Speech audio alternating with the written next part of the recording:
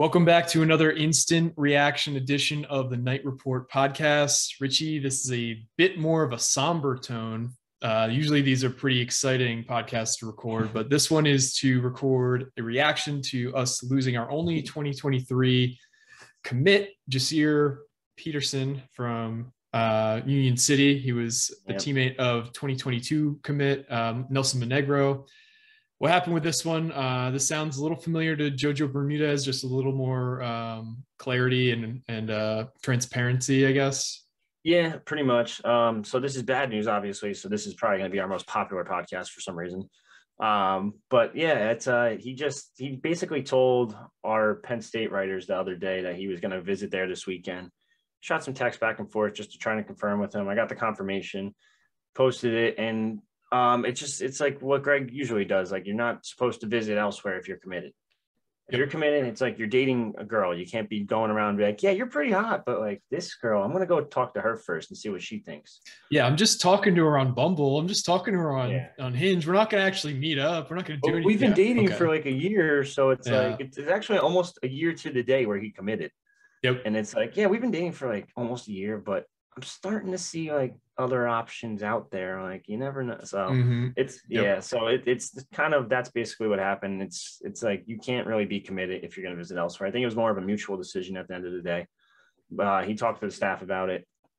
Um, I believe they're out in a couple schools this uh, today actually visiting people. I don't know if they stopped in Union City or not. I haven't confirmed that, which would be like probably when they probably talk to him or talk to the coaches over there or whatever. But um, it is the open period now for recruiting again. Kids are going to be on campus this weekend. So there is a bright side to this. You're going to get some new kids on campus, new faces, old faces, even too.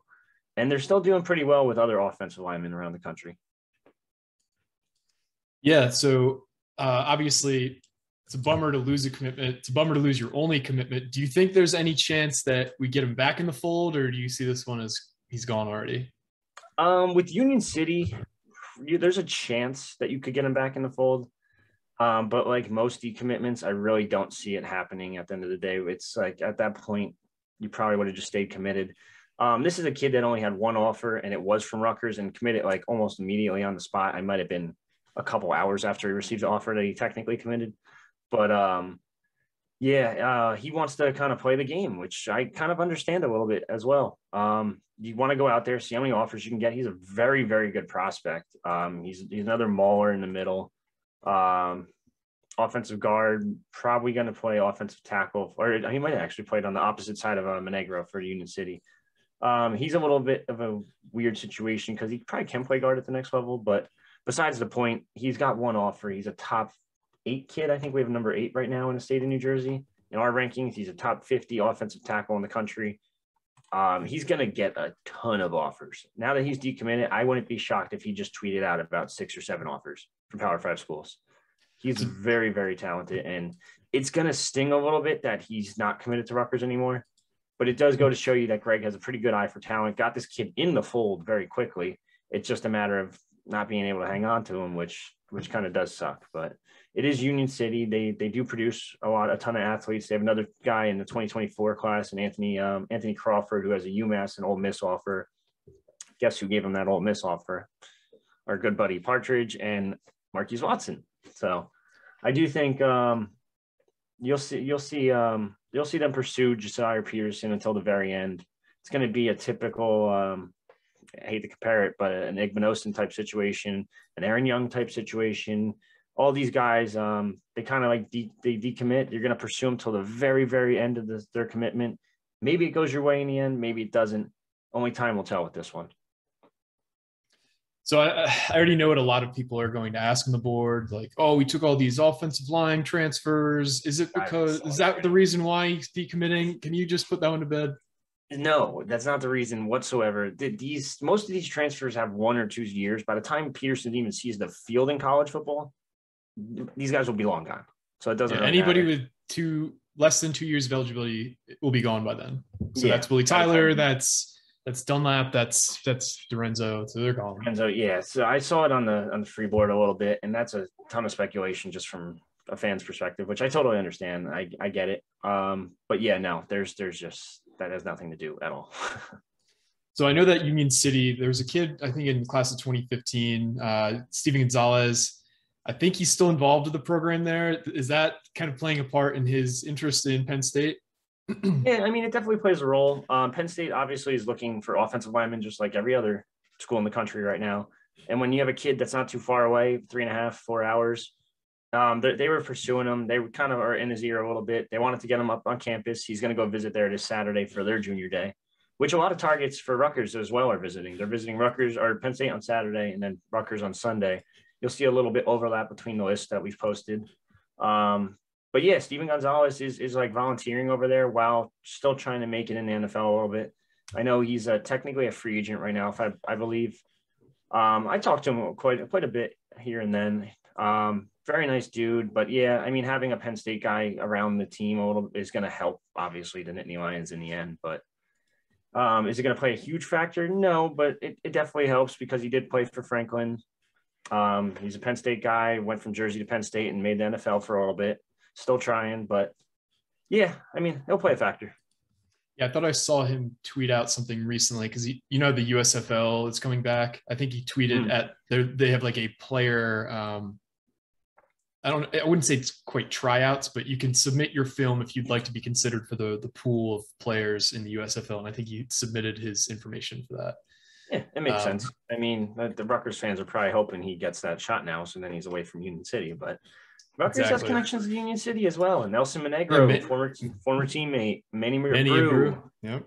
Um, I'm sure I'm missing a couple others, but uh, yeah, no, I mean it's it's it's a loss for Rutgers, yes, but at the end of the day, you're you're pursuing so many offensive linemen out there, and it sounds like one could be on the on the way to committing to the Scarlet Knights pretty soon. Different position, I'll speculate, than where Peterson probably would have played, but yeah, uh, you guys can all take a guess at what guy that is. It's a guy we've all kind of heard discussed as leaning towards Rutgers for a while. So uh, that'll all we'll be saying about that. Uh, so yeah, a bummer, guys. Uh, I don't like recording these uh, negative instant reactions, but you know that is life. Good things, bad things. You gotta find a way to deal with both of them. Uh, yeah, I, I don't, I don't think there's any. Like... I'm sorry. Do you want me to pile on this bad news or? Yeah, let's let's hear more. I know we just talked about it off air, but like I'm looking at New Jersey's top 15 for 2023, and it's it's not optimistic. There's already one going to Notre Dame, one going to Iowa. Um, Rutgers didn't offer Marco Lainez, who's going to Iowa. They didn't offer Bonsu, who's number three in the class. Basantis seems like he's going out of state. It's it is going to be a little bit of a struggle for Rutgers in terms of New Jersey recruits, at least in the top 10, based on our rankings.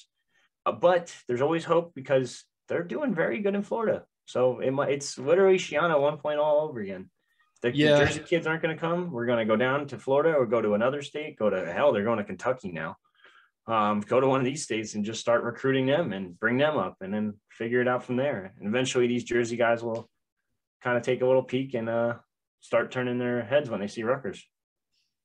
I think it's kind of eye opening. We had that conversation with Willie Tyler about him talking about the level of competition he could face on a week to week basis in the Big 10 mm-hmm. I didn't really get like I you, you always hear people talk about it, but when you are speaking to somebody directly and they're talking about my chances to get to the NFL are increased by being able to say, here's my film from me facing off versus Aidan Hutchinson. Here's my film facing off against George Karlaftis. Like you don't need to go to a bowl to show that you can match up with these top level players. If you show it week in and week out, that is so useful. And I think that's kind of Greg is using that to his advantage really well as a member of the Big Ten. That that's something that he didn't have as a Big East member or an AAC member, whatever it was when he left. Mm.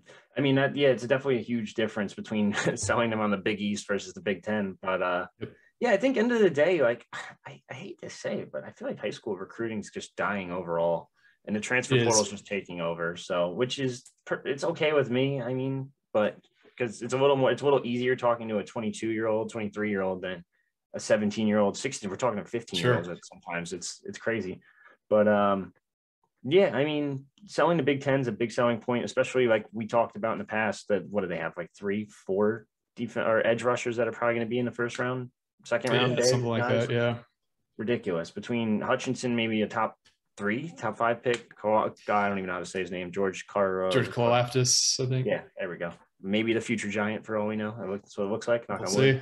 Maybe. But um, yeah, no, it, playing in the Big Ten definitely makes a hell of a difference, and it's on the recruiting trail and in in terms of NFL stuff. For sure. Um, so sky is not totally falling, guys. Uh, I do think it's very promising, like you said, how well we're doing with a lot of really high level out of state kids. Like mm-hmm. you would never expect to be in it with like a top 50 Florida kid as deeply as we are with like Hykeem Williams. Like, yeah. and the list goes on and on. I, I, I don't think we're in a bad place. It does suck that we're losing uh, Jasire and that he might end up at a place like Penn State, but yeah, the I class mean, is still young like I said, the Florida class is ridiculous, and they're doing extremely, extremely well with Hykeem Williams. And that's not just the only one. There's Santana Fleming, who's still tweeting out Chop 23 every once in a while, teasing that. Yep.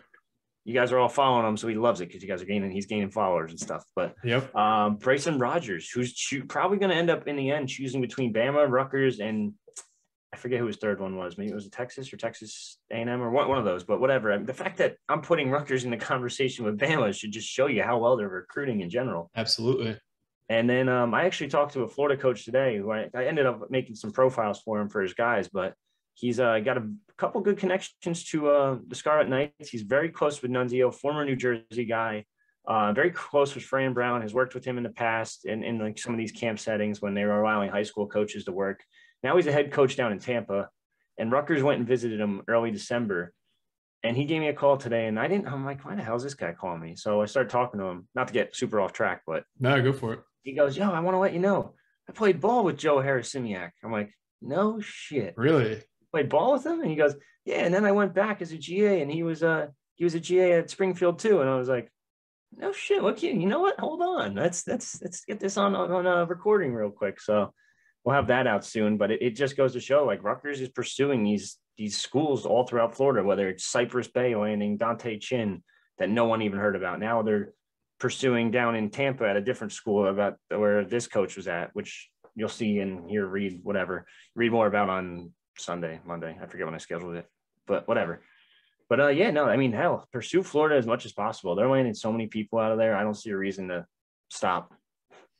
Yeah, I mean, Schiano's had a pretty pretty good track record with under the radar guys from from the Sunshine State. Like if you just like look back at like classes from like 2003, 2004, 2005, 2006, like they're littered with with Florida kids. And you know, if you talk about the Lowrys, you talk about Ryan Hart, you talk about Eric or uh, Eric Foster, like you know, he was just getting these guys out of Florida and he's he give, give, give him credit. He saw something in these guys that not a lot of programs in the area did, and the level of athlete in Florida is just so much better than New Jersey overall. So oh yeah, it's it's completely different. Um, they're they're a lot more speedy, a lot faster, uh, a lot more. You can argue athletic too. Whereas here up here, it's more like Big Ten football, where it's more like ground and pound, big uglies in the trenches, but uh, another kid who we might even be doing an instant reaction pod on soon is Andy Jean, who's coming up from Florida this weekend to go to yeah. for the visit for the junior day on Sunday. And he seems extremely, extremely high in Rutgers. Um, I posted articles on him already. Um, I'm sure you guys have all seen that, but he's got Georgia, he's got uh, Miami. I might have been old staff, regardless. Pitt, Rutgers, Tennessee, West Virginia. But he's a kid that could end up committing pretty, pretty darn early. And if will really soften the blow of losing Peterson if you can land him on starting on Sunday. Yeah, so uh, the the list for the junior day will continue to grow as you guys get confirmations on guys. What's the list sitting at right now, roughly, of confirmed guests? Um, big names. So what we're doing now is we're not really going out of our way to like get all the like random names that end up popping up, but there's a couple big names like Andy Jean's one, Kenny Johnson's one out of uh, PA, who I'm actually a very, very big fan of. Doesn't have a Rutgers offer yet. Um, I think we actually still have him unranked at the moment. I know he did get his ranking. Top 15 kid in Penn State, or in Penn State in Pennsylvania, but I have him pegged for Penn State at the moment because he's very high on them. But Rutgers can kind of get into the fold and maybe like maybe talk him off, talk him off the ledge a little bit and be like, hey, you want to come back over here? And then figure that one out. But um, Austin Ramsey, an offensive lineman out of Pennsylvania, he's another top kid. I think he's a 5.73 star. Javon Williams is one of the best um, offensive linemen in the entire country. Uh, he's ranked 148 in overall recruit in the country. He's coming to campus. The number 59 overall recruit from up in Massachusetts at Thayer Academy is coming to campus. Uh, who, who else am I looking at? Recent running back offer, London Montgomery he just got Rutgers, Michigan State, Penn State's going to offer probably soon this weekend as well because he's going to hit there Saturday and then come to Rutgers on Sunday. Um, yeah, this list is just going to keep growing and growing. And we have um, other lists on the site too. January 25th, they're going to have a couple more guys, mostly Jersey guys. It seems like the 25th is going to be, whereas the 20 or the 16th this weekend is going to be mostly out of state guys. Then um, later in the month, January 29th, they're, they're hosting Anwar O'Neill, who's number two ranked kid in Delaware currently. Mm-hmm. Um, he has a Rutgers, or he doesn't have a Rutgers offer yet, but he has Maryland, Pitt, et cetera, et cetera, all the other ones. Um, but yeah, no, this list just just going to keep growing, and it's going to be kind of cool to follow it as and track it a little bit as uh, the days go by. But Rutgers is going to have a ton of ton of guys on campus this January. Uh, yep. even in March or April, whenever the spring game is too, you're going to see these lists just keep growing and growing. And one thing I've noticed is that these lists go from when Ash was here, we had to list everybody because it was like unranked kids, two stars, and it's like, oh shit, oh hey, there's four star. and now you're oh, he's coming because his whole team is here. Got yeah, it. now you look at the list and it's like, all right, this kid's coming up from Florida. He's got a Georgia offer, a Miami offer. This kid's coming all, all the way from Western PA, and he's got he's the 148th ranked kid in the country. Samson Okalunla on Okunlola. There we go. Got it. Uh, out of Massachusetts, is number like 56, 57, something like that in the country. And he's coming down from Massachusetts and it's like, all right, holy shit. Like this is, this is different. Like, yeah, I know we mentioned so we'll last probably time. get some reactions on that. Uh, his brother ended up at Pitt. We, we, we, were talking about like his brother ended up somewhere. So just kind of fill yeah, in that gap. I remember that. Um, yeah, I completely forgot where he, I, I can't believe he ended up there. They actually just, um, I don't know if you saw what they did. They just stole Frank Cignetti out of uh, Jeff Hafley's pocket over there. So I didn't remember where Cignetti was recently because that guy's like, he's a fucking gypsy man. He go, he's in a new program every year. It seems. I think he was the head coach at uh, at JMU at some point. Right? Uh, no, that was. I think that's his son. I'm correct me if I'm wrong. I think that's Frank Cignetti the third or something Cignetti. Curt Cignetti? I think that's Curt Cignetti. Maybe. Yeah, that was Curt Cignetti. His dad okay. is, or maybe that's his. Wow, that might be his brother. The more I look at it. Yeah, he's, yeah, he was born in '61. Okay, so his, the Frank Cignetti Senior was a former yeah. head coach at West Virginia and IUP, and compiled a record of 199, 77, and one. Is in the College Football Hall of Fame. Yep. Uh, wow, and his brother Frank is the OC now at Pitt, former Boston College. His other brother is at James Madison, I 12 and 2, 14 and 2, 7 and 1, killing it apparently. Yeah, since since Frank was uh, the Rutgers offensive coordinator, he's had that was in 2011. Yeah, Curt, Curt's had, a record of yeah, 100, 100 wins and 31 losses. Holy yeah, he's a good coach. Yeah, he's had five different stops since he left Rutgers uh, mostly in the NFL. They were able to actually pry him. Boston College is able to pry him away from being Aaron Rodgers' quarterback coach to be their offensive coordinator, which is pretty impressive. Actually, no, he, that. that was when McCarthy got fired, right? Yep. yep. So that makes sense. I think that was McCarthy got fired. Then he was Giants QB coach under McAdoo. Something like that. Yeah.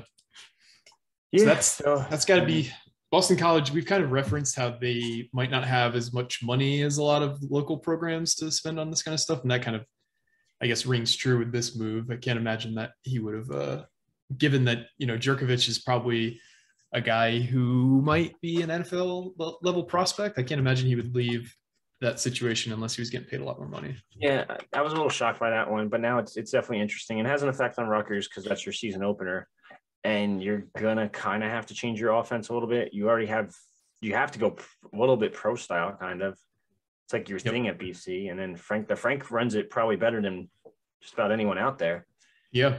So I, I don't know what you do because you can't really just go out and if you're half and be like, all right, we're gonna get this uh this spread guy. He's pretty good. He's up and comer. Shit, Jurkovec can't move. Well, the Rutgers might, man, you never know now. Now it's getting interesting between the four linemen coming in and now Frank Cignetti out at Boston College. This, this game, this spread would have, if it did come out early, I don't think it did, it would have shifted like a ton. For Maybe sure. not in Rutgers' favor, but like it would have got a lot, lot closer. Yep. Um, So we're running a little long for an instant reaction, but this has been some Yeah, awesome realized. banter. Uh, keep your heads up, guys. Uh, we have more good news on the horizon. I'm sure we have at least one commit that we're kind of alluding to that might be happening soon. Uh, Mhm. We have plenty of guys coming up for junior day, so stay tuned to the boards. Stay tuned Yep. to this podcast feed because who knows? Maybe we'll have some news to report on Sunday. Uh, a lot of NFL action going on, so I hope there isn't news to report, so we don't have to record on Sunday. But regardless, appreciate you guys for tuning in. And this has been another episode of the Knight Report podcast. Signing off.